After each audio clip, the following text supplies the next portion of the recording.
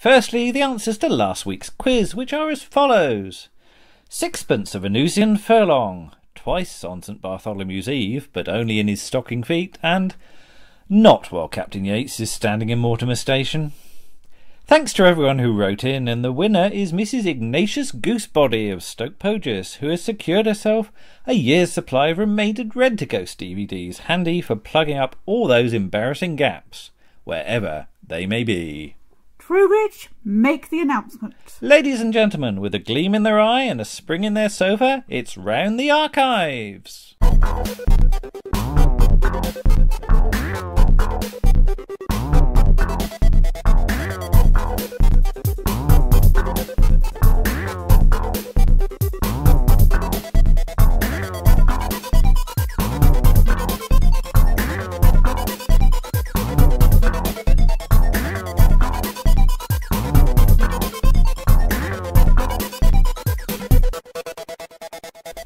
Hello, hello, hello, and to the show, welcome.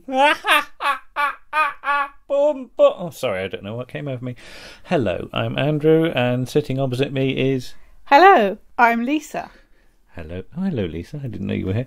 Uh, welcome to Round the Archives, which is our rather odd attempt at doing a podcast about archive TV. We've got uh, a huge DVD collection and thought it was about time we got talking about it because there's an awful lot of good telly out there from hundreds of years ago, which nobody seems to watch anymore.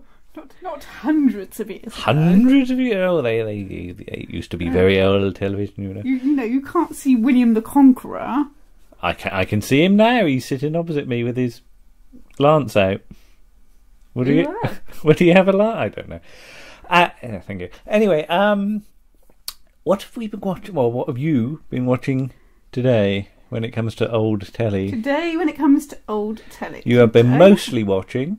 I've mostly been watching, or I have been mostly watching. I have watched a little bit of Hi-de-Hi, Okay. which BBC T- Two, BBC, BBC Two Two. is currently, Hello, BBC Two. is currently BBC Two is waving at you now. every afternoon at around two thirty. So we've got Hi-de-Hi, and Yeah. Yes It's- Minister as well. yes, when- Minister. I didn't watch Yes Minister, right, but it was on. Both of those have been basically from the start Yes. last week, was it? Yeah, in Yeah, the last so- week or so. So Hi-de-Hi is now up to the first episode of series two. Which oddly we watched independently a couple of days. Was it? Was it yesterday? Yesterday, Oh, yes, blimey. yes. God, it seems a long time ago. Um, and you've also been watching a thing on Uh, Talking Pictures TV, from Southern From TV Southern from TV. about 1976. Something it, like what's, that. What's it called? it's called Tell Me Another. It's presented by um, a character called, well, not a character, a person. He's real. He is real. A person called uh, Dick Hills, who everybody seems to know, but I've never heard of. I think didn't he write for um, Eric and Ernie, Sid and Dick, I, wasn't it? I honestly couldn't tell you. I'm gonna look I'm that not up. very good with writers on comedy people. I'm going to look at that. If you want to hold this, then uh, Okay, you, you- where are you going I'll to look look it up. up? yes. Are you going to look it up on the internet? On the inter- interwebs. Oh God, careful. Carry Um, on talking. Basically, all, all what this series involves Hills, is it? he, yes, Dick Hills. He talks to different variety people and actors, Dick. presenters, Yeah. journalists. Clement Freud, slightly unfortunately, Dick. Hills and Sid Green. Here we go. All right, okay. Let's just have a little bit of info on Richard Hills. Michael Hills, born 1926, um, and Sidney Green, and formerly known as Sid Green and Dick Hills, TV writers for um, quite a few things. Actually, um, they created with Anthony Newley the Strange World of Gurney Slade, which Ah, we might get right. round to doing at some point. yeah, we've they- only done one episode They so wrote for. Frankie Howerd and Roy Castle, and also for Eric and Ernie on Two of a Kind, the, their ITV show in the mid 60s.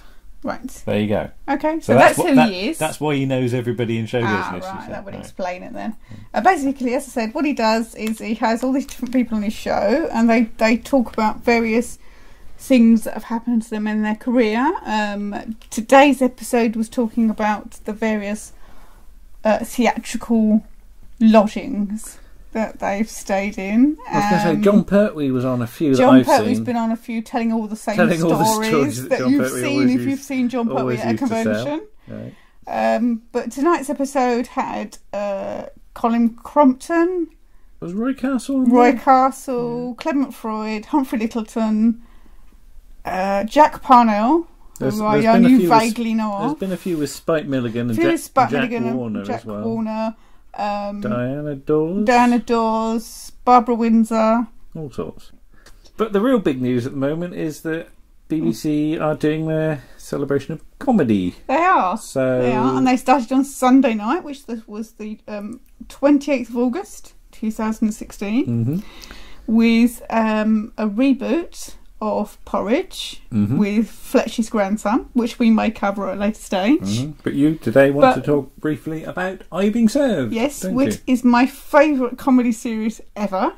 you? Ooh, Um, that's saying quite a lot. actually. yeah, I think it is. It's it's well, it's my comfort comedy series. It's one of those ones. If we don't know what to watch, That's we'll, what we watch. We'll go. Oh, we'll have some. Are you being served? It then usually takes I about can half point an at. hour. I can see it sitting on the Yeah, shelves it's over sitting there. on the shelves over it's there. actually in the right order. It is in the right Which right is order. very It's unusual the for only a- thing in the house that's in the right order. Doctor Who's all over the place. It is. But Are You Being Served is actually in the right order. Yes. Mind you, we've seen it so so many times that Yeah. we we were going, what shall we watch? Are you being served? What episode? Oh dear. Um, no, we've seen that. We've seen that. Oh god, let's see which one, and it takes us about It takes ten us minutes to just to work out which episode we've seen least. mu- You know.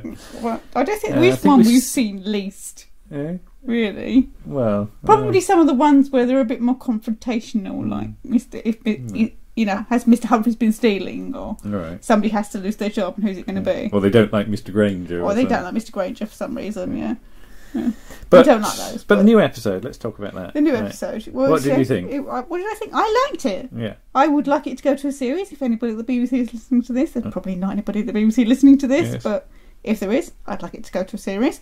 Um, so I've got, well, uh, to be honest, so that I've got more Are You Being Served to watch. Mhm. But yeah, I thought it was very good. It was um, superbly done. The set was very good. Yeah. There, there were some differences. I noticed that Mr. Rumbold's office now has a big window in the back of the set. I was going to say there is, there is a window. There is a it. window, but it's not behind him. All right. and it's not arched Okay. or well, or a semi Because this is after series ten, and series ten is when you've got things like the the episode where they've got the the two robbers in. yeah yeah but it's You- just a normal window Yeah. it's Alright, not arched Okay. so it's slightly different but that's But just he's just moved to a thing. new yeah office yeah he's then. moved to an office um as for actors you've got um the estimable well estimable Estimable. estimable the, the the very good John Challis Because you can't say Right, estimable. Hello, John Challis. If you're listening to this, we Mm. will send you a copy, probably.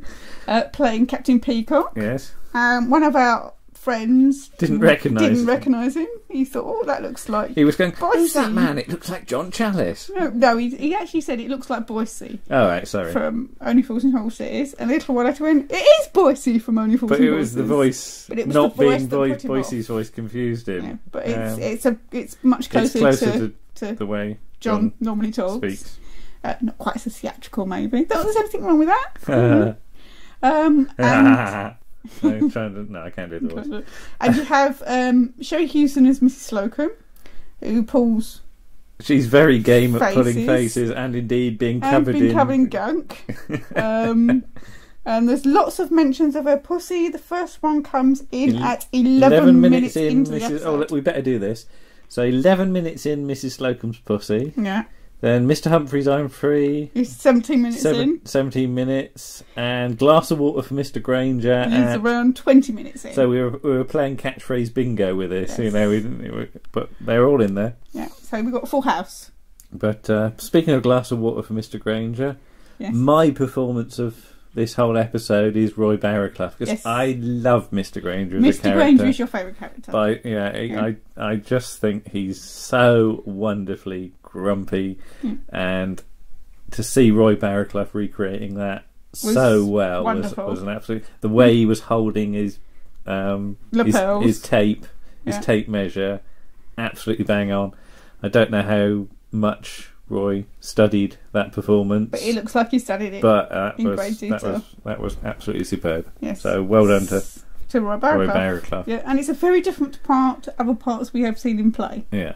Yeah. which are mostly from the 70s, and the less said about them, the better. Yeah. You were also saying um, that there were some bits where Mr. Humphrey, uh, not Mr. Humphrey, Mr. Rumbold, you could actually see. Yes, I could see the actual line being spoken by Nicholas Smith, Well, that's good. which is a good thing, Yeah. because Nicholas Smith obviously is no longer with us. One day we will talk about Nicholas Smith in Z cars, Oh, which is absolutely which is wonderful. absolutely worth tracking down. Yeah. Um, but Well, we'll get on to that. It doesn't take that much tracking down, you just sort of go to Acorn. No, but we we can talk about that one in a future podcast because we're hoping to do some more of these. Yeah. Yes. If you're going to listen to them, please listen to Yes. them. Yes. Yes. Yes. Yes. Yes. Yes. Anyway, um, so all in all, Yeah, it's it's, it hit was a- for you. I it think. was a hit for me. It, Um, it didn't do too badly in the ratings. Got I just over just five over five million for million. overnights, Yeah. and it's obviously going to add a bit more. Yeah. Uh, we just watched it again on iPlayer, so that's another Little hit. another viewer. For, I don't know quite how much notice they take of iPlayer, but But we would definitely like a series of it because So- we feel that there's still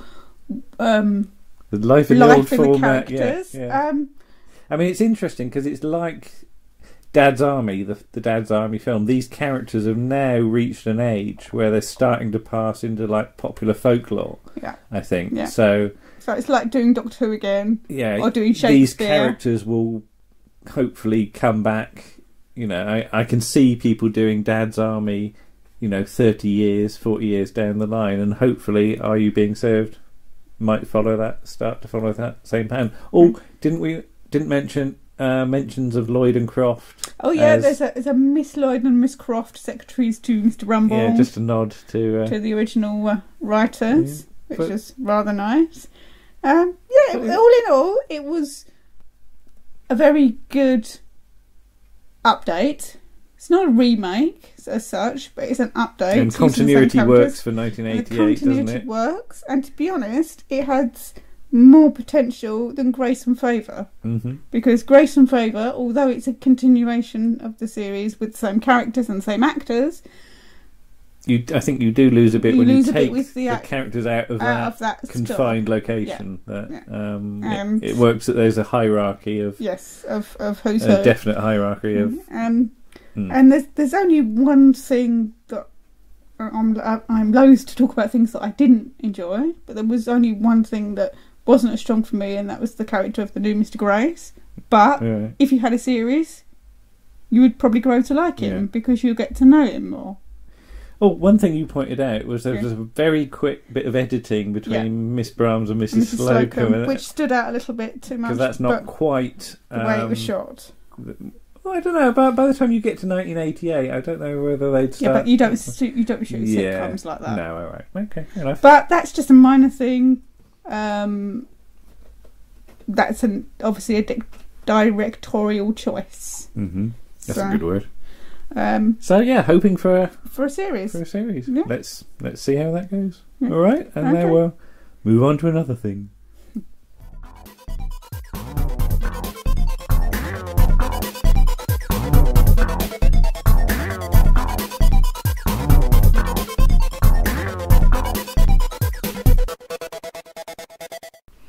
Hello, and today we're joined by a very old friend of ours. hello, hello. You're very old, aren't you? Uh, Mr. Nick Goodman. We've Yes. just recorded a DVD commentary You ha- for have, his yes. uh, latest film. Well, I say latest well, film. latest it's from film, 1999, but we just got around to 17-year-old. doing to that. But um, Yeah. Yes, Nick. Today we want to talk to you about old television. Oh, one of my favourite topics. I know that. That's, Yeah. why, that's, why, that's, That's why, why we've, that's why we've got you as our first guest. What are your earliest memories of television as a small child? I suppose you were. Two things, really, I suppose, from the era. Um, mainly the goodies, right. uh, which started when I was two. Um, I can definitely remember uh, being in, on in uh, Newquay in 1971, playing the goodies, playing TV and playing Hmm. the goodies with my sister. Any specific episodes, or just the goodies generally No, a the goodies generally. I Yeah. think um, I'm, I'd like to say I remember a bit of Kitten Kong and everything, but uh, no, uh, goodies generally. I think it appealed to me. Uh, they still appeals to me now, but um, it's it, yeah. That was hoping it's- for a complete DVD release one day. Yeah. Most definitely, Yes. yes. Network, please, pretty please, with cherries on. Um, but yes, uh, the goodies. Are also, Top of the Pops. Um, Okay. I remember, no, uh, probably 1971, 72, um, hiding behind the sofa from Alice Cooper Yeah. and uh, Rod Stewart in his. You're you're a bit you're a bit more au fait with pop music than perhaps Lisa or I am. It's it's one of our weak areas. I have to say, pop music, in terms of what what was in what year and things like Although that. to, but- to be fair to yourself, uh, uh, I mean, to be honest, my, my knowledge starts to stumble badly during the nineties. Uh, I think um, the seventies and eighties pop Yeah. probably the, the best. but I mean, you're very much a '70s kid. oh yes, you, really? yes, That- I'm your- proud of it. Uh, yeah. Now, was were you an ITV kid, a BBC kid, or were you easy? Because some households were. I, I was easy. um, I do know. I remember very, very well indeed that snobbery, Hmm. uh, if we're allowed to call it snobbery, um, about ITV. Um, my best friend's uh, dad was a doctor of divinity, and uh, he was not allowed to watch ITV. I think he managed to smuggle a Space 1999 in at some point. um, but yes, it was very. It, there It, was- it was seems looked weird to describe it, now, but it is Yeah. true that some people didn't watch ITV. That's right, and I think it was it was definitely kind of our generation. Because I, I work with somebody who's ten years older than me, and she, she definitely remembers she wasn't allowed to watch ITV because it was common, it was vulgar. Um, there's a there's a ITV wasn't on for an hour or so this morning. no. No. No. Oh, good grief! Oh, It's nice to know they've still got strikes. It's like 1979. No, it's Well, not a strike. It, 1979, it, it although is it- actually it was a definite It was scheduled. Intended thing. It to was because Olympics. because it's a bank holiday and we've had the Olympics. The idea was we're turning off ITV for now so you can go outside and play. Basically, You go and get, so get some exercise. what Yeah. a lovely idea! Yeah. But- yeah. So, So it might go on ITV plus one as well Oh. later. I don't know. No, I you can can- go out and play again if you want. I can never remember a time when we we didn't have I, BBC Two till 1975. Um, I don't know. We got a, a our set predated BBC Two at the time in, until 75. So, but no, um, ITV. I can never remember any embargo on it. Um, I've. I, I think with Tomorrow People and stuff like that, um, and also generally the whole that whole thing. Really, I mean, I don't I don't recall it ever being taboo, which is odd because um, I, uh, my, my, I, I can imagine my dad sort of. No, I don't know. No, actually, there were everyone. It was pretty okay. T- um, uh, t- TV was pretty okay. You know, the, the the the sky's the limit. I was never, even though I was scared of Doctor Who at one point. I was I was never forbidden to watch it. No, Um, it was always we were always sort of grown up to go our own way. Yeah. So. you, you've already sort of um, sort of preempted my next question. Is, Oh, what is your favourite Tomorrow People story and why? And who is the best Tomorrow person? you, you can be biased in any way you like about those those questions, but Right. Um, well, in and I can I'm I'm we, we can draw a distinction between 70s and 90s tomorrow people if you Oh, like that- and we're not even going to talk about the modern 21st century no, thing no no, that not the, the hip and happening badass rubbish. Yeah. that, that, I, Roger Price. Why? I mean, why? I'm, I'm going to. I'm, I'm. I would have to say it's a tussle between Secret Weapon Hmm. and The Dirtiest Business. Dirtiest Business is fantastic, but it's over in a blink of an eye. that's a two And two parter yes, it? and it's wonderfully downbeat. secret and, weapons are three isn't it Uh, four. four all yeah. right okay Zip. Um, that was that was me. that, that was Nick Zipping Zanorak up my in, in, ac- in action Um, but uh, no, uh, Secret Weapon has the lot. It's a wonderful villainous performance, for, but villainous but very hum- human performance from uh, uh, Trevor, Trevor Bannister, and and it basically is what the show is all about. Um, it does things that perhaps I mean it's a little bit um, uh, condescending to the, the the travelling community, but you have to remember when it was made. Mm. Um, characters like that weren't getting airtime. So in the fact the fact that it was the the society was portrayed at all is is quite quite innovative. But no, it's it's serious. Um, I, I do I do like quite like the funny ones, but you know, I, it's all, the series always works best. when I, I, I must admit to a soft spot for Achilles' heel. Oh But- yes, um, it, it's it's silly. Yes. but, but oh it's, yeah. it's um it's not embarrassing like No. like I- some I- of the comedy ones are. But. Um, similarly, I must I must say I, I do like, although it's it's a bit of a lost, um, a, a bit of a missed opportunity. I do like um, Revenge of Jedediah. All right. Okay. That's that's again that's got some dark bits, um, but you you, it, it, it, you wish there could be more Jedediah time, and and Francis de Wolff could have been hired for all three episodes. but um, I, as I say, uh, I think Secret Weapon. If I had to choose between the two, because it was just got everything. Um, f- of the '90s ones, I'm going to say uh, Rameses Connection, Far and Away. I'm not Um, even sure I've seen all the '90s ones to be honest, because. Yeah. Roger Price did the first He did, and I'm some, and then r- Grant Most- Cathro. and yes. who is it? Um, and Pressman, somebody Pressman. Yeah, right. We, I we'll mean, look that up later. Don't the worry. problem with the '90s ones I find is they're trying to make it too much like the Avengers Hmm. when they could have actually made it more like the Tomorrow People, as it was supposed to be the Tomorrow People. that was that was clue was in the title Yeah. there. Um, but I mean, they're, they're, they're quite fun. Some are better than others.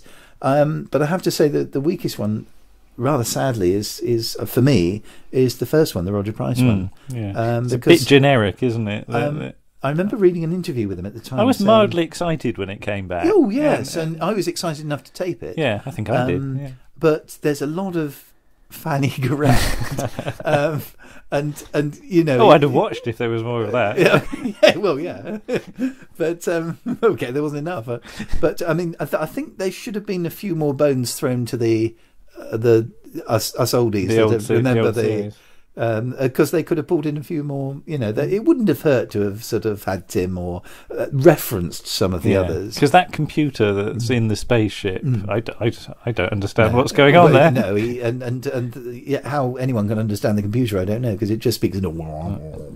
You should, you should have had more boggly, Oh, Bogleys, boggly-eyed aliens from the galactic. Oh Trig. yes, I mean, wouldn't that be good? That if, dreadful if the thing. chairman creature had walked straight into the the, the origin story, and I mean, or get, or get the which is it the the Sorcons or Yes, the the, Sorcons, the- yes, with their the with their wobbly hands. oh yeah, I mean, the, you know, if if one of them had, but they brought them back on audio. Big I- Finish I, did those. have that but- yeah. story. I liked. I really liked the Big Finish re, re um, creation of the show. I thought it was very faithful, very sensibly, and you know, kind of.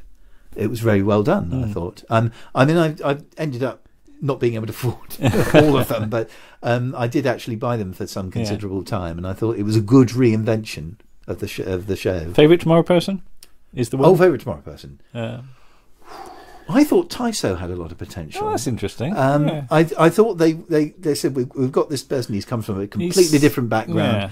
And He gets a strong introduction, but He they sort of forget about him they later. do yeah. very, and they forget about him very quickly. Actually, Yeah. he's, he's he's He's most shoved unconscious aside, for isn't he? most of the story. Okay. But he has a nice. uh, Dawn Dean Lawrence has a nice kind of easygoing, kind of likable scamp sort of um, uh, personality, and I, I thought it was an enormous shame that they they sidelined him. Yeah. I think probably. Uh, Stephen had had his day by then, Yeah. and and they'd done all they could with him, but they could, they could have gone a lot further with Tyso and developed Okay. him.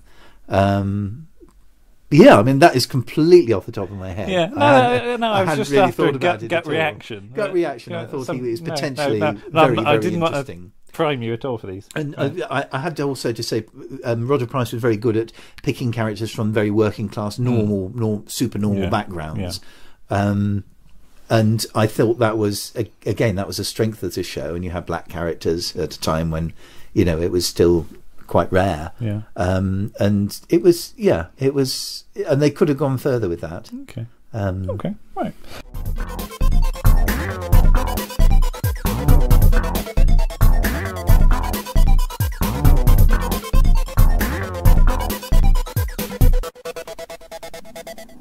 And thanks to Nick for that interesting interview. We're going to hear more from Nick in the next instalment. Yes, we are going to do another one. Oh, by the way, if you can hear purring um, going on in the background, that's Rose Cat who's sat behind us. Hello, Rose Cat. Have you? Yes, thank you. Anyway, um, now we want to talk about John Barron, don't we? We do, we do. Because he's one of those actors that keeps on popping up in stuff That we're watching. that we're watching. So, what's the last thing we saw him in? The most recent thing we've seen him in is an episode of the second series of The Rivals of Sherlock Holmes, The Missing QCs. I forget who it's originally written by. Oh, we can look that up if But we really want it's to. um, a very, God, that was dark, wasn't it? That was that that very went very dark. strange. very strange. Because Um, there's there's two QCs. yes, there's him and Yeah, Jack May. There's him so and Jack May, and they're so- sort of acting yes, there's like there's a, there's a opposite there's each a, other. yeah, there's a fruitiness standoff. How fruity can you get? uh, uh, they were pretty fruity. And Jack Yeah. May and John Barron together are rather good. But John Barron gets well, he sort of disappears halfway through, and He then he then he pops up again Towards with a wonderful end. expression on his face, does. and I don't want to say any more. He does. You should watch the episode. Rivals of Sherlock Holmes, It's available from Missing Network. QCs, as with most of this stuff, available on DVD, network in this case. Yeah. Very odd, but but worth well worth a listen. And there's some well worth great, a listen, well worth a, worth a watch. Thank you. and there's some great episodes on there as well. Apart from that one, But I was looking John Barron up, and he was president of Equity from 1978 to 1982, which I didn't know. no, I didn't know that And he was also vice president um, 77 and 84 to 89.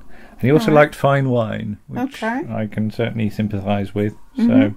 Yeah, good on you, John, for that. Anyway, um, obviously he's best known for CJ in uh, Reggie Perrin, um, forever shouting "Sit down, Reggie!" and then the inevitable "Sorry, sorry, CJ." Afterwards, uh, the other John Barron impression I can do is him um, in "Whoops Apocalypse" from Okay. when's that? 1982. it must be something Yeah, like writ- that. written by uh, Marshall and Renwick. When he's when he's the deacon, um, the advisor to the American president, as played by none other than Barry Morse. Who just just doesn't know? And the deacon is very much the pair behind the throne, I think, in this. Um, but a lovely line. Oh, that was Rose jumping and knocking stuff over. Thank you, Rose. there goes the box for the uh, for the sound recording. Never mind. Thank you, Rose. Bye. She's gone to bed. um, what was I saying? Oh yes, the deacon.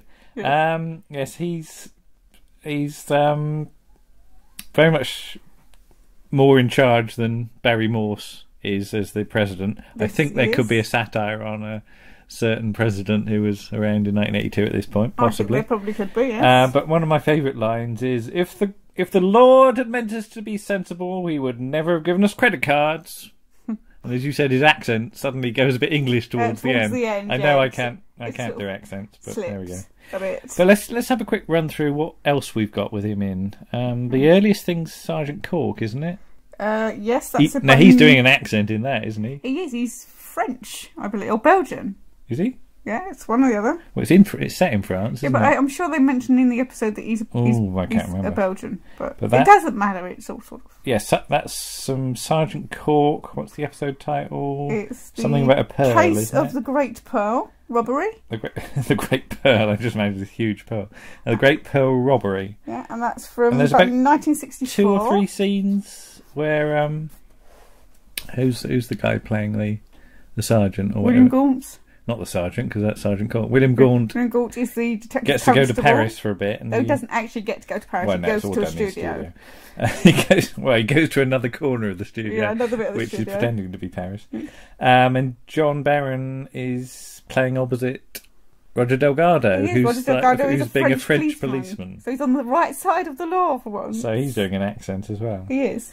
I mean, there's a few things we've got in our collection with John Barron in that we haven't actually seen yet. There's Quite a few things. um, Out of the Unknown. Does that does that it one exist? exists. Yeah, it's from Out of the Unknown, the Midas Plague. Yeah, The Avengers: A Sense of History. yeah. Um, Which is in a huge pile of DVDs. I can't remember what that one is. Um, no doubt an Avengers expert will be able to tell me. I must have probably seen it at some point, but uh, six, that's from 1966. And also we've got obviously Time Slip, which we've recently got. Yeah. Um, Well, it's only just recently come out onto DVD, so yeah. Yeah. One thing whilst looking him up, we were somewhat surprised to discover, and if you look on our Twitter feed, there's a there's a frame of the sort of end credits. He's a, he's in three episodes of the Beverly Hillbillies. Would you believe as a chauffeur? Uh, as the Clampetts go to London for three so episodes. seem, yeah, yeah. I've never Uh, seen the series, so I can't really talk about it. and uh, it appears to have been one of these series that has been colorized after the event. So that was one of the reasons I didn't really want to watch it because it looks fairly dire. I'm not sure it'll look much better in black and white, to be honest. But um, so yes, so Sergeant Cork is what we've seen um, him in. We've also got. What else have we got? Uh, oh, his Ace of Wands appearance is missing, sadly, Mm. as the smile from 1970. But he is in the mind of Mr. J.G. Reeder, one of our favourite series Yes. um, of recent Yes. years. Mhm. The Earl of Colebrook in Find the Lady, I think Uh, I remember that one. and I'm going to have to remind myself what that one's about. Okay, but I think it's um, something to do with missing oh, Debut- missing debutantes. That's right, debutantes and, and a Chinese magician. Reeder uncovers a dastardly traffic in white slavery. Oh, David Collins is in that as well, and Windsor Davies, and Mm-hmm. like lots loads of of people. people. uh, Mind of Mr. J.G. Reeder. Get it, absolutely brilliant. Mm. Um, one of his sort of biggest things, though, is All Gas and Gaiters as the Yeah. dean. Yeah, and we, which we, we sort of discovered by accident. Yeah, is that one of those series we just sort of took a punt on, and Yes. and we absolutely We loved it. loved it. Yeah. Um, Yeah.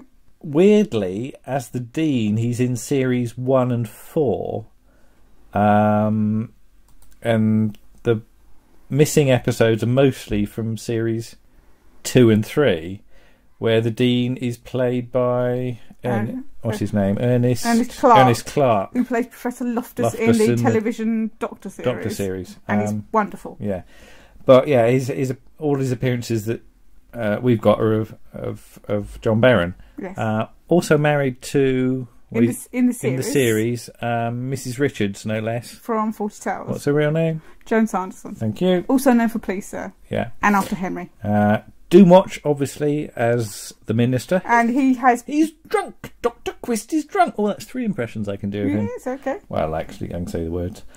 Uh, he, and he's by far the most reoccurring minister. He's got he's got about twelve, well, quite a few episodes. Um, Hamilton Dyce is in one, and John Savident is Ah. also in one. Uh, So, but he doesn't have a posset. You have to be a Doctor Who fan to get that joke. he's uh, also in a couple of episodes of Yes Minister Stroke, Yes Prime Minister, as Sir Ian Whitworth, uh, secretary to the DHSS SSSSS. That's a lot of That's a lot of S's. I've been enjoying some fine wine, you see, much like uh, much like the man himself. Um, but. Yes. Um, the thing we will go into more detail of in a few minutes. Eh, oh, uh, digression. We did find an appearance for him credited in an Alice in Wonderland from 1985. Oh And- God, that's weird. Oh, and we thought we we thought it was the Terrance Dicks Barry Letts production, But but, it's it's, not. not. It's an Anglia production from And a year before. It's got lots of puppets he's in it. he's the caterpillar. but he's a puppet. He's a puppet caterpillar, so he's a voice.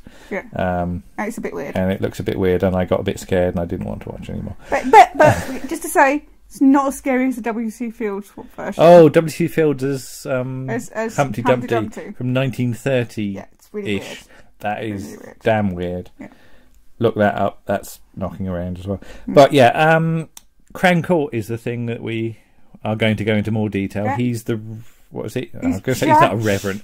He's the Honourable Miss, Mr. Justice Mitchener. Mitchener, or, the Honourable Mr. Justice Mitchener, depending on what the credit What the credits say, is. or as we know him as Judge. Piles. Judge Caesar. Oh, no, I was going to say Judge Piles because I think he's got piles. well, yeah, I think he's There's got there's past a too. there's but a story where they're talking about a rubber ring, and he goes, "A rubber ring? What would that be used for? Um, to alleviate um discomfort." And then he does this weird sort, sort of of movements. quirking movement, and as though he's got something, as though he's Yeah. finding sitting painful. But Yeah. nicely, um, sort of linking up with all gas and gaiters, he's a judge, Yes, uh, and so is William Mervyn. who plays the bishop? Yeah, so it's Gas and Gaiters. two of the main cast of All Gas and Gaiters also Yeah. end up as Yeah. judges in Crown Court. Yeah. Derek Nimmo doesn't seem to get a look. I was going to say. I was going to say, Judge, Judge Nimmo yeah, it doesn't really work. doesn't really. No. No, He's more. He's he's probably better suited he's, he's off. He's he- off being a monk. Yeah. probably at that point. Yeah, Mm. I have to say, of all Gas and Gaiters, when it comes to Nimmo series, It's- it's that's the by far the best. best. Yeah. We actually bailed out on Oh Brother, didn't we? We did. Yeah, We we've did. never even It's- attempted Oh no, Father. It's, it's Sorry. just awful. Mm. But yeah, um, what else have we got? Anything that we've missed out? I think we've done most of Uh, them. I think so. No, it's um. Let's have a look. Um, da, da, da, da, da. No, I think that's pretty much it. Um, so yeah, we'll talk about um, Crown Court in a few minutes. Oh, I would just point out though we've not seen it, probably because most of it doesn't Oh, exist. softly, He's in softly. 52 episodes of Softly Softly. But we've got Softly, Softly Task Force, It's- which is the later one. But yeah. this is the 60s version of Softly Softly that Softly, Softly, there's an awful Zed lot Cars- missing, I think, isn't there? Yeah, So well, there's an awful lot missing from Z Cars. that's true. There's an awful lot missing from lots of BBC 60s things. Some of which we'll talk about at some stage. But there you go, John Barron, uh, one of those really, really reliable actors. Yeah, turns out gives a good appeared in so much that Yeah. um, you know it's a shame. I think people just think of him as CJ because Yeah. he, Yeah. you know, he did so much He more more than well, that. I mean. CJ is is wonderful, but Hmm. you know this this list of his appearance goes on forever and ever and ever. Um, so yeah, if you can search out some John Barron stuff, I don't think you'll be disappointed. No, Right, what are we going to talk about now? Um, Uh, you wanted to do some more comedy, didn't you? yes. Tell you what, let's watch that till death us do part again, and then we'll we'll come back and natter about that, We'll shall talk we? about that. Yes. Okay. Uh, see you later. Bye bye.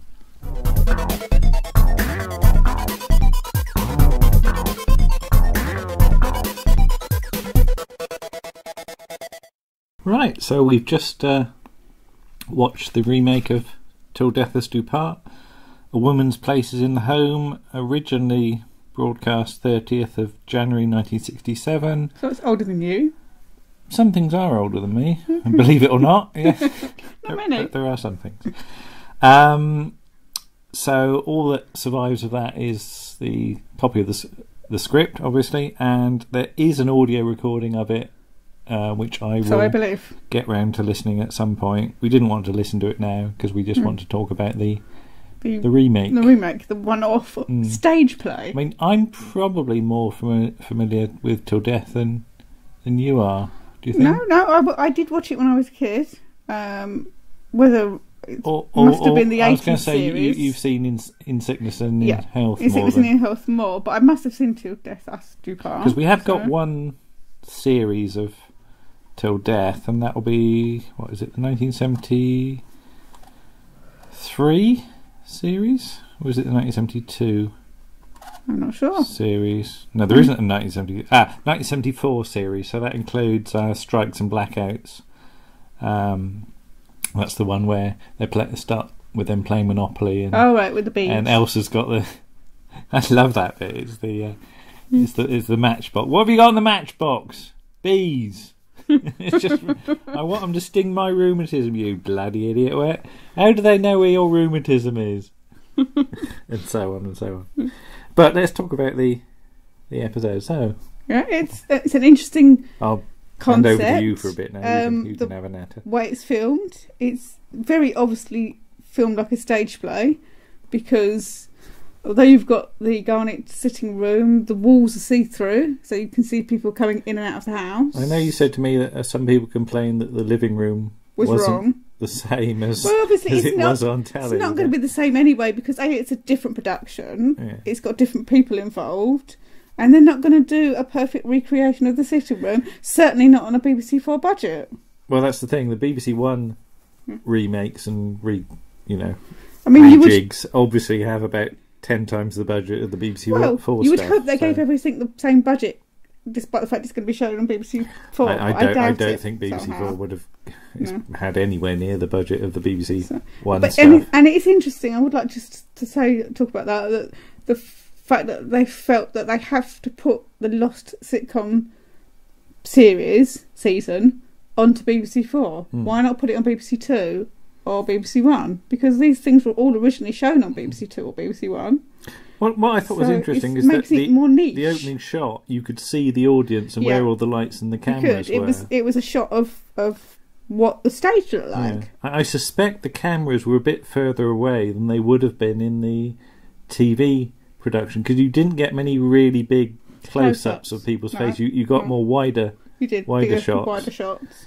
Um, But yeah, so it was I don't know what studio it would have been in originally. Uh, whether, Mm. whether it were in TV Centre or what, I don't know, I don't, don't know. or, or no. Riverside or Lime Grove. It's more likely to be Riverside or If Lime it was Grove, I would thought. sixty-seven, yeah, Yeah. yeah, I'm not very TV good on Centre only studios. just opened then. yeah, I'm not it? very good So, on studios. Yeah, Yeah. Um, how it would all be laid out, but, uh, But yeah, it, and as I said, it's certainly an interesting um, idea. It's got interesting performances. what, what do you Um, think of Si- Simon Day? I liked Simon Day. He's possibly not got the anger that Warren Mitchell's version of Garnett has.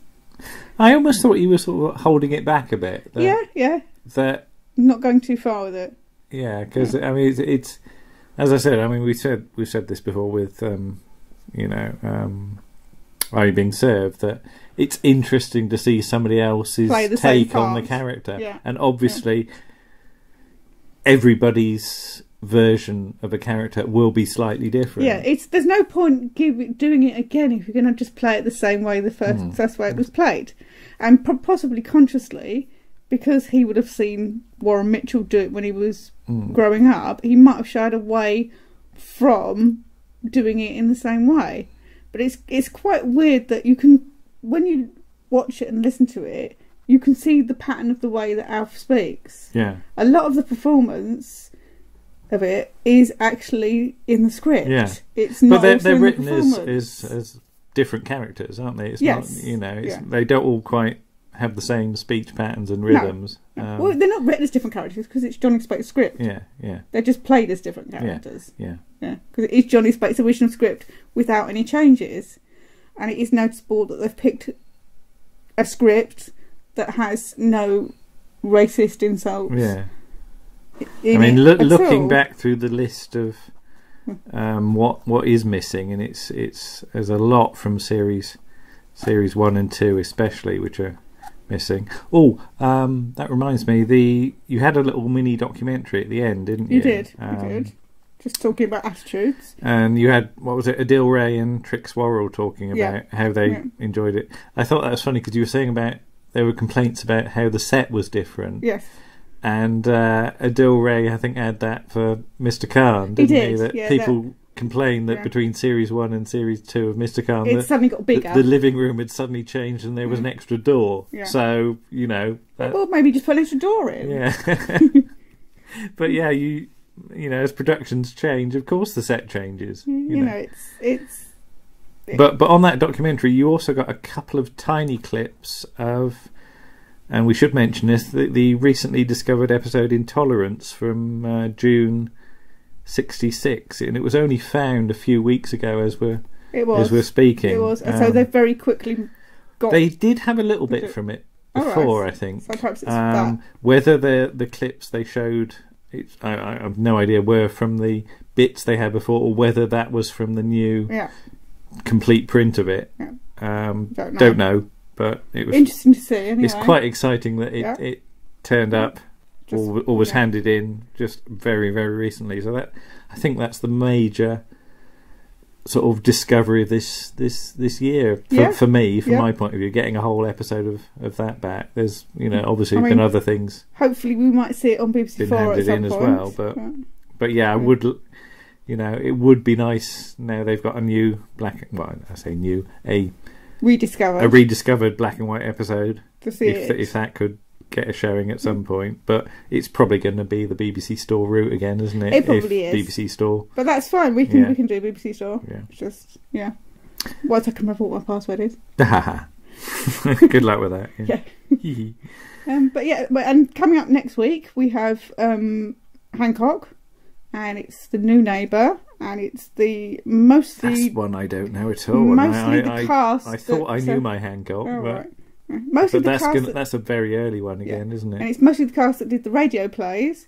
So you have Kevin McNally as Hancock. I was going to say Kevin R. it's only, oh, when he's in films. it's only when he's in films, isn't it? I think he's just Kevin McNally in this.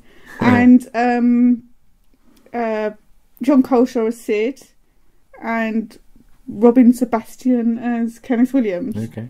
and with Katy Wix as Hattie So I've not I've not heard the the recent productions of it, so this no, will all be quite it'll be new to me. But apparently, he doesn't play it like Tony Hancock will play it. No. Again, you have to give it your own twist. Otherwise, you may as well just look at. Well, you can't look at it because I think it's missing. But you must just listen to the original. Yeah.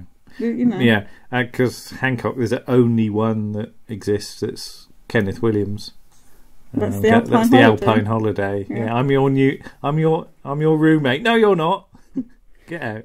Then, of course, the week after that, uh, we have Steptoe and Son, and, this, and it is an existing Looking episode. forward to that. Yeah, It is an existing all of. Steptoe exists in varying quality, as It'll said. be but interesting to see how different actors Do do, do the do- parts because I have to say because the BBC recently did, which they now don't show because of various reasons. But they did the thing on the, the actors of um, in Steptoe and Son. A lot of the time, I can only see Phil Davis as Steptoe. Now, Phil Because- Davis should be Wurzel Gummidge. Oh, I'm yeah, sorry. but- If you ever do Wurzel Gummidge again, Phil Davis We're is my. wandering off the subject here. Are aren't we? This is we're talking about telly. This no, is no, British telly all over the place. Right. But Uh, Yes, okay, so- but so that that was a, that was pretty much a hit for you, I think, it was. it? Yeah. It was. And I'm not sure. Maybe I would quite like to see some more, but it was Yeah. interesting as a one-off. Yeah. Um, and it is available on DVD from the 19th of September. Yeah. Oh, Okay. I've already pre-ordered it. Aha, of course.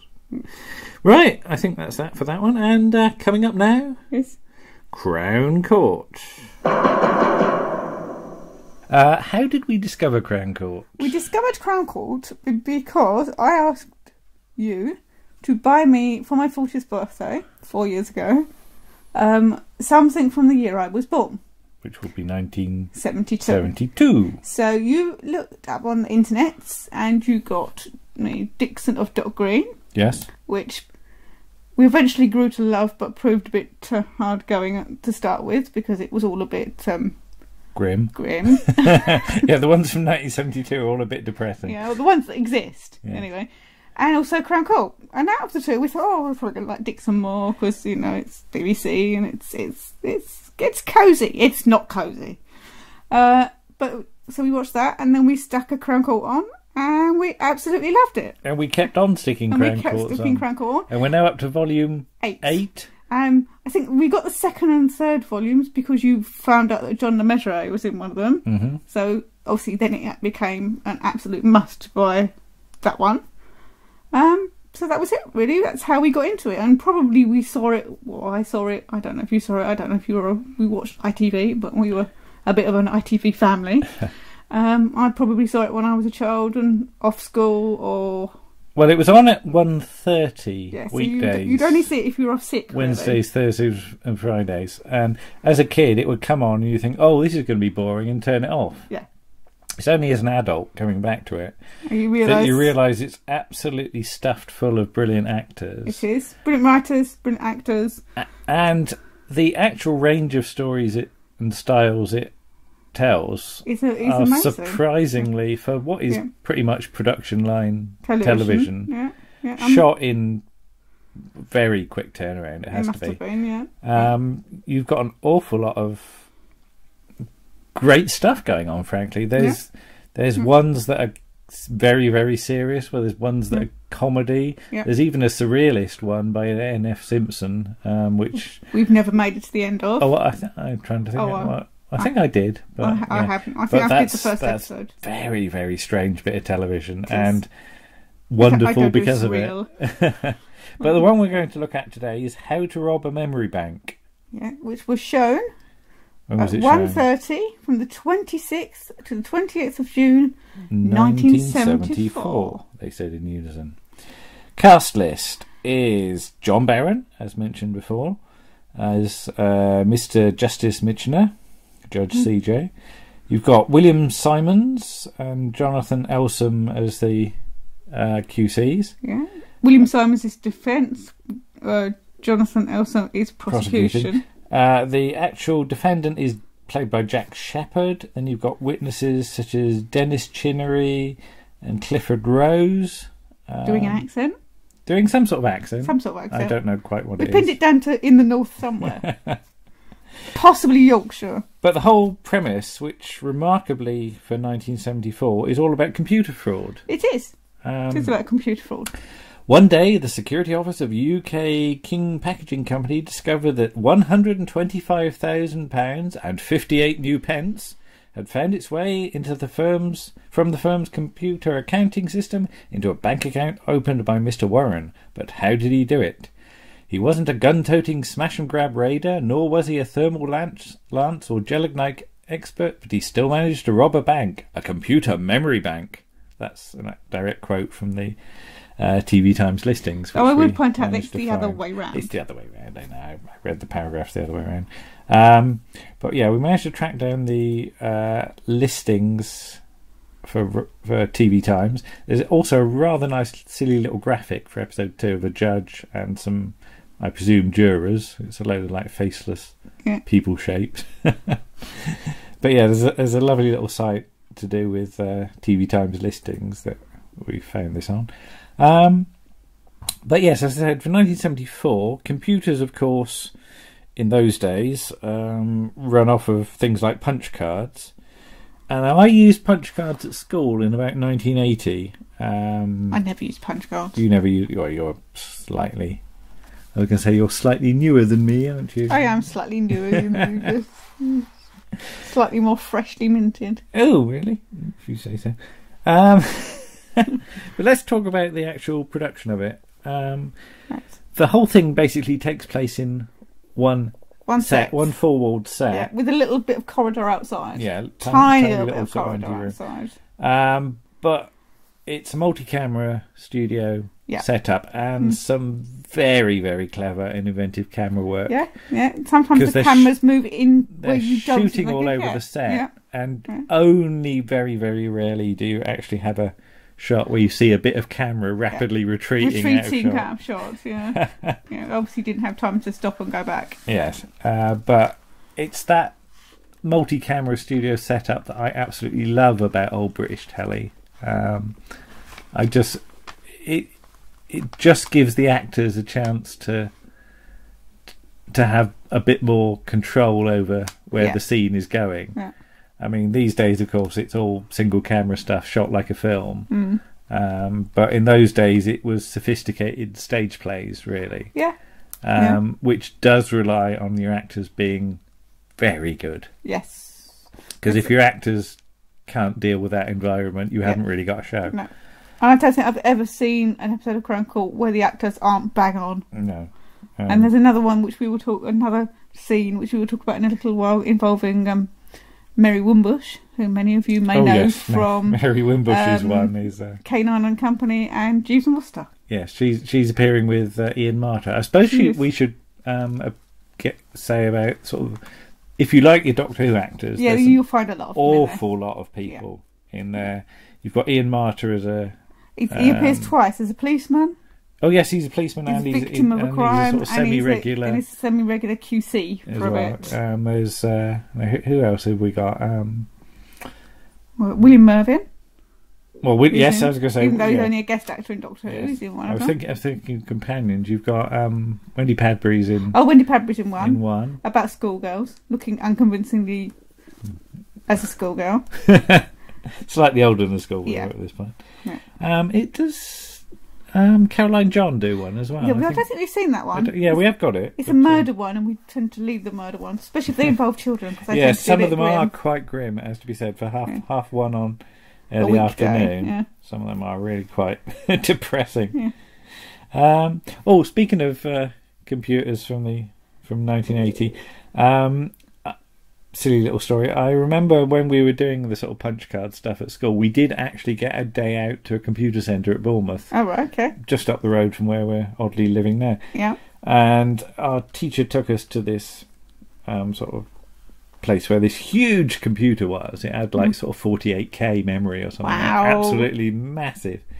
And there's all these little terminals dotted around the room, and we all sat at one. And I was sort of typing away, doing something. I can't quite remember what. And all of a sudden, the message came up on the com- on the computer screen. Andrew, your shirt is hanging out. that's not unusual for you. And I thought that's a very clever computer if it knows that. but I think it was just my teacher sending me a, a, me- a silly message. But uh, but yeah, the the setup for this story is that uh, Mr. Samuel Warren is is working at this firm where they've just got this new computer system, Yeah. and he's very concerned about computer security. he is, yes, yes, And no, obsessed. it nobody will listen to his warnings. So No. basically, he sets it up so the computer regularly makes payments to his bank account.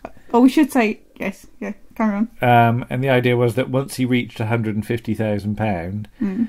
um, he was going to present a check to the um, sort of owner of the company just to prove how rubbish the computer security was on their system. I would say that's his defence. That is what he alleges happened. Yes, because the the idea. prosecution alleges that he was just going to steal the money. Yes. Yeah, because he says um, I had a checkbook and I wasn't going to use it Yeah. I, I tore it up, and the, the defence being that if you didn't actually spend the money, then no crime had been committed. Yeah. Apparently. Yeah. Um, but yeah, the the uh, the guy says uh, that the his bosses are a very good example of what's known as the Peter Principle. Yes. Um, to explain that, in any organisation where promotion depends upon your ability to do the job, um, your competency, you keep on getting promoted until eventually you reach a point at which you're you reach a job level at which you are actually incompetent because then you don't get promoted anymore. So, uh, um, on a totally unrelated note, it's interesting to note that this uh, story was produced by Jonathan Powell, who I think is generally considered to be a very competent uh, producer. I think he probably is. Yeah, and uh, later on, he was then promoted to be head of series and serials at the BBC, and then later was promoted again when he became controller of BBC One. Didn't he do El Dorado under his watch? Uh, I'm not sure. Was that him or was that Michael Grade? No, that was Jonathan Powell. Okay, well, I'll take your word for it. But as I said, the, the Peter Principle, an interesting theory.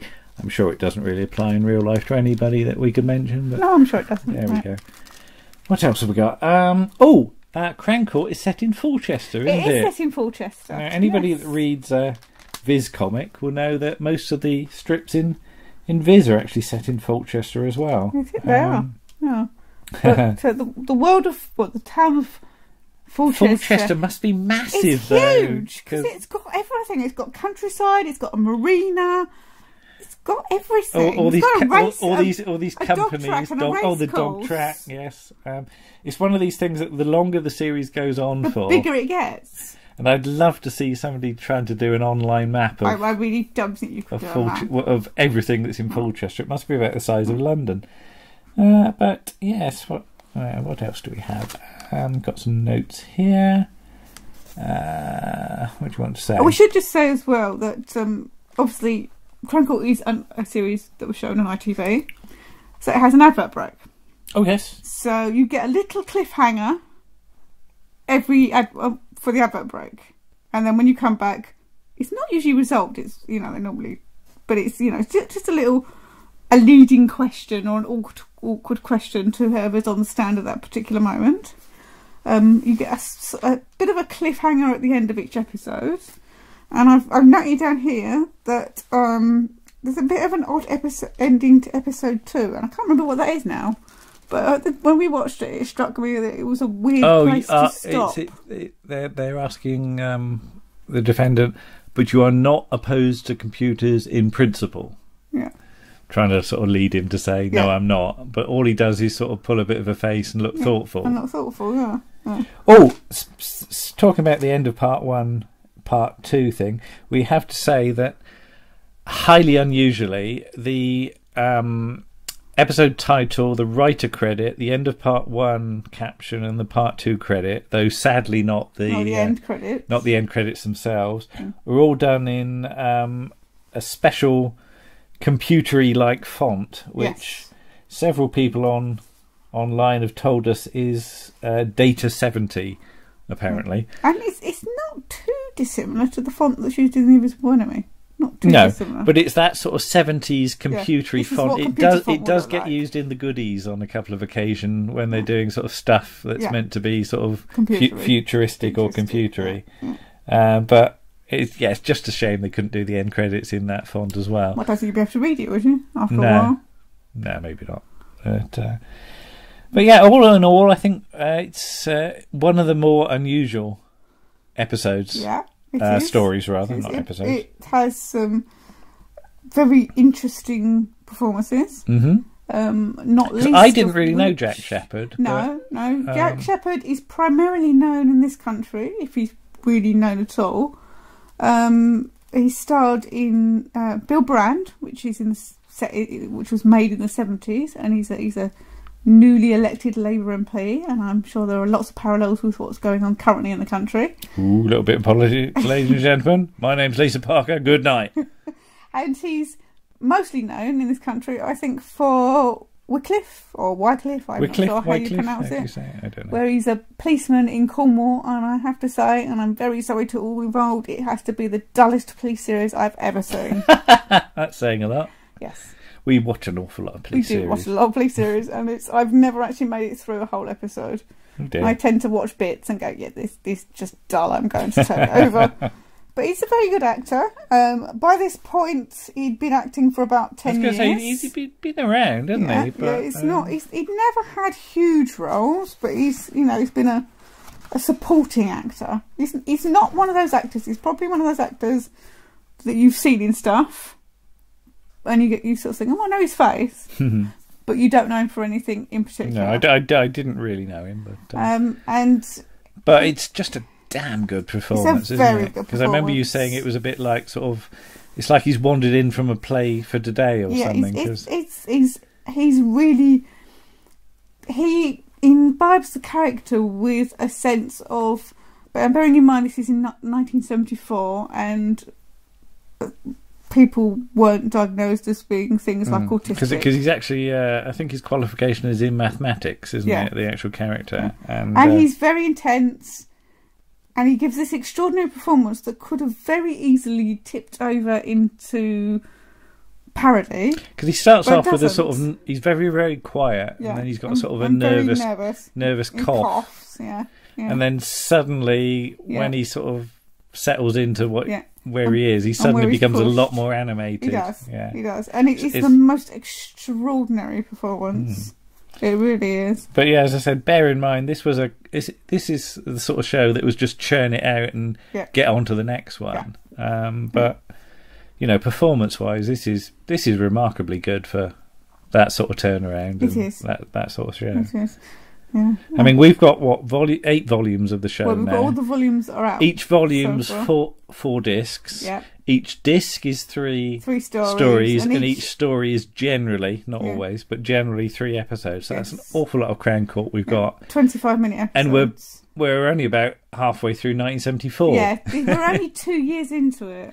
and it goes on to like the early It 80s. does go on to the early 80s because a certain Mr. Peter Capaldi I was going to say that there is it in an the infamous 80s. Peter Capaldi clip when he's got red hair as some sort of Yeah. punk rocker and, or and something. And chewing gum, Yeah. which is made to spit out by the judge. So there's so much Crown Court we haven't seen yet. And it's unfortunately the the rate it takes. Um, you get about one a, one a year, it, don't you? One a, one a year or one every, every other year. Yeah. So we'll be very very old by the time we get anywhere near that.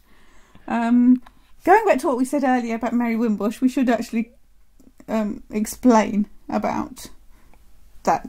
Uh, Oh, this one's where mention. the, it's to do with like betting on Betting the dogs or at the on dog the dog, track. dog. Yeah. and she's got this and amazing she's, she's in charge of the toll booths, speech is, about sort of probabilities yes and, and odds like and this. things, and she reels it out Goes on for about a full minute from of speech. yeah, and it, she reels it out in what Uh, looks like one take. Yeah, and Ian Marter, they cut to Ian Marter, and he's just utterly stunned He at this, isn't it? stunned and absolutely terrified because the judge is saying, "Would you like to ask ask a question, Mr. Ingrams?" And then bang into Yeah, the yeah. into the end of part one credit. Yeah, It's it's, a an very- very clever piece, piece of of- television of acting and a very clever piece of, sort of editing. editing, which Yeah. leads to comedy. You know, Yeah. just just his reaction. Yeah, there are an awful lot of good stories. There is there is one story. Um, uh, I can't remember. What it is. I know it's got persimmons in there. Oh, persimmons and dishwashers. and dishwashers. It's, it's a. And we actually we we it, we got the giggles in that story and had to stop it to look because they kept on up. saying the word persimmon. Yeah, and we- we- we in weren't sure- increasingly silly Yes, voices. and we weren't sure if persimmons were actually a real fruit or not, but they are. They are we tried. We tried We persimmons. tried them. Didn't like and them. they're not very nice, to be honest. They probably are. We probably didn't let them, let them ripen enough. What were they also known as? Uh, Sharon fruit. Sharon fruit. If you're, I think they're Yeah. probably more known. Oh, there's a picture of some persimmons. Yeah. Yeah. They're sort of orange and and, and but um, yes, to have an, have an episode titled "Persimmons and Dishwashers" Mm. is. Uh, Yeah. It's all about gangsters and things. oh, that's the one where they say um, he fell down the stairs, my lad, Yeah. or something, and then we don't believe this is what happened. Why not? He lives in a bungalow. It's Yeah. that, it's that old silly joke. Yeah. but yes, it, it's it's one of the more light-hearted hearted ones, considering the Yeah. uh, they have to throw a light-hearted one every so often because there- some of them are, are truly very grim. Here we are, persimmons and dishwashers. Yeah. I'm not sure. That's, I think you need to go to IMDb. IMDb. Let's have a look. Let's have a look. So- Persimmons and dishwashers. Crown Court. Persimmons and dishwashers. There we go. Hmm. Fulchester's notorious Curl brothers are Hmm. accused of demanding money with menaces and GBH. but yes, it's all yes, it's. Uh, Because there's who's in that? There's oh somebody God, in that. uh, that- one of the brothers' own enforcers has disappeared and is believed to have been buried under the new M16 motorway foundations. Oh dear, yes, it's uh, very, very, very, very silly. Um, Because I think there's a, there's also a story. Isn't there a story uh, with Robert Powell in as Powell in as some sort of singer, religious singer or something? Well, I think he may be loosely Goodness based on. Cliff Richard. goodness knows. I mean, there's, yeah, there's, there's, an awful much lot of of really famous people. Um, and we did once ask the late Sam Kelly, who who hadn't realised that Oh, that's right. We, it yeah. was out. The Yeah, there's, there's, out. he, he just appears at the start. He appears at the start of one episode, and it was directed by a director, director called Wojtek. possibly Wojciech, Of as he's um, And we Polish. We, we yes, we found this increasingly amusing every time we saw it because we kept thinking of Yeah. Medibot. yeah, director credit, directed by Wojciech. That's all it says. Yes, And yeah, if you know Medibot from uh, Look Around You too, yeah, it become yeah, so it's, it's very very silly. But there we go. that's it. But yeah, Crown Court. That's our uh, recommended show of This is the of this uh, podcast. yes, TV show Um, of this podcast. You maybe think, why would I want to watch Crown Court? But give it a go. Well, look one episode up on on YouTube, and I can almost Ooh, guarantee. yes, there are lots of episodes naughtily available on YouTube. We we But I, I will guarantee that you want to buy the but DVD buy the afterwards. DVDs because that's much more uh, It's a better way of seeing it anyway. better quality, Better and, quality, yeah. And you get a few pennies to network and and, it might might encourage a few more people, you know, releases to come releases. out. Yes, please release more, a bit quicker. There you go. Hmm. Yeah. Very good. very good. Hmm. Okay, thank you. Bye.